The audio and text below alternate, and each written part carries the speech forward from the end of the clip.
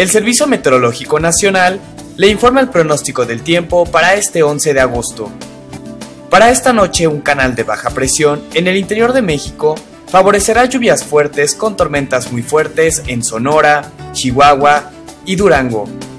Lluvias con tormentas fuertes en Sinaloa, Nayarit, Jalisco, Michoacán, Guerrero, Puebla, Estado de México, Guanajuato, Zacatecas y Aguascalientes. Y lluvias en Coahuila, Nuevo León, San Luis Potosí, Colima, Querétaro, Hidalgo, Tlaxcala, Ciudad de México y Morelos. Además de rachas de hasta 50 km por hora en el noroeste del país con probabilidad de torbellinos en el norte de Coahuila.